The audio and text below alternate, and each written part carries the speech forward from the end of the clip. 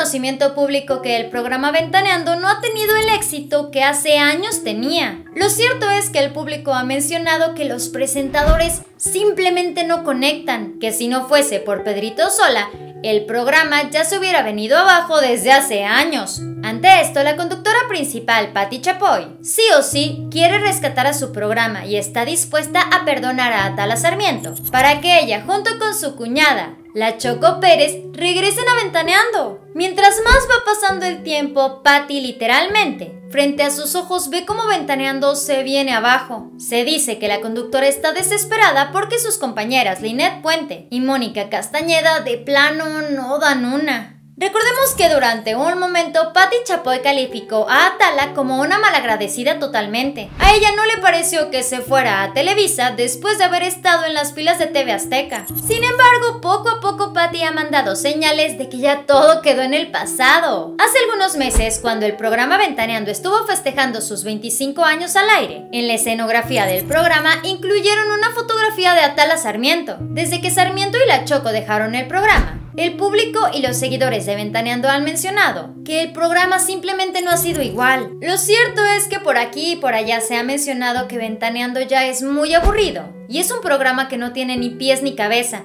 ya que los conductores entre sí ni siquiera tienen equilibrio. Daniel Bisoño a cada rato está metido en diferentes contratiempos y todo el tiempo está que sale, que entra, que lo sacan, que lo dejan, mientras que Pedrito Sola ya tiene la edad suficiente para retirarse y nunca regresar. Por esto, Patty se encuentra muy preocupada. En cualquier momento ella se puede quedar completamente sola, pues como lo han mencionado, la parte femenina del programa simplemente es como un cero a la izquierda. Ni Lynette ni la casta han aportado algo importante al show. Por esta razón, Patty les está casi casi rogando de que se regresen de España y así pueda tener a su equipo completo otra vez. Recordemos que Patty Chapoy ya tiene 72 años de edad y en cualquier momento, al igual que Pedrito, se puede retirar. Pero como Patty no tiene quien la releve, no quiere dejar el programa ventaneando a cualquiera. Si bien Atala y la Choco no son la octava maravilla del mundo, Patty sabe que el público las ama, que les encantaría volverlas a ver juntas, porque ambas ya estuvieron en ventaneando más de 10 años. Entonces sería algo así como el reencuentro. Patty sabe perfectamente que la Choco Pérez no regresará si no es de la mano de su queridísima cuñada, Atala Sarmiento. Por eso Patty está dispuesta a doblarse el brazo, sonreír y pedir una disculpa, con tal de que ambas regresen y salven el show. Este fue el Muro de la Fama. Dale like a este video, suscríbete y síguenos en Facebook.